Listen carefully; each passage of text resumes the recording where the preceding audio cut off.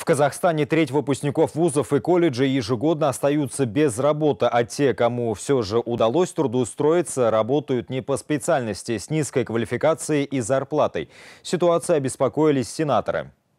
Программа с дипломом в село с самого начала ее реализации у многих вызывала скепсис и даже иронию. Совсем не верилось, что молодые люди, окончив университет, могут променять городскую комфортную жизнь на работу в ауле, пусть даже за плюшки, предлагаемые государством. Но специалисты пошли. Однако теперь депутаты возмущены работой программы с дипломом в село. Она не закрывает потребности в кадрах и давно требует пересмотра, отмечает Лязат Сулеймен. В селах остаются работать только специалисты здравоохранения и образования, тогда как там не хватает представителей культуры, спорта, социального и агропромышленного секторов. Кроме того, из-за сокращения выделяемых средств на программу часть выпускников остается без обещанных выплат. По мнению депутатов, в стране имеются также населенные пункты, расположенные в сельской местности, но со статусом города, где численность населения значительно меньше, чем на селе, но с такими же условиями проживания, как в ауле. Выпускники вузов не хотят идти на работу в города районного значения по нескольким причинам. Во-первых, там не выплачивают подъемные пособия. Во-вторых, не выдаются бюджетные кредиты на жилье. В-третьих, зарплата ниже на 25%, чем в близлежащем селе к этому городу. А по мнению сенатора Лязат Сулеймен, даже в селах не хватает денег на программу.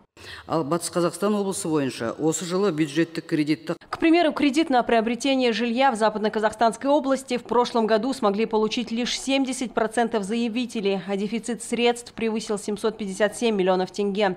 Нужно мотивировать специалистов направляться не только в села но и в моногорода. Также необходимо рассматривать вопрос повышения выплат и сумм выдаваемых кредитов для покупки жилья с учетом складывающейся экономической ситуации а также расширить направление оказания поддержки поддержки.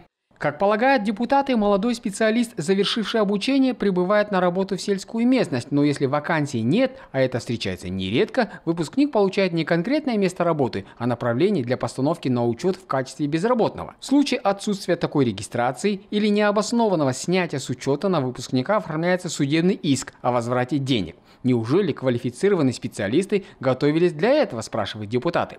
По оценкам экономистов, в каждом селе обычно функционирует одна единственная амбулатория, одна школа и один дом культуры. Эта программа будет экономически выгодна только в том случае, если вырастет число сельских производственных предприятий на селе, и для работы там будут привлекать молодых специалистов, уверяют экономисты. Бауржан Шайхмед Ахмедяр Ильясов, столичное бюро ТДК-42.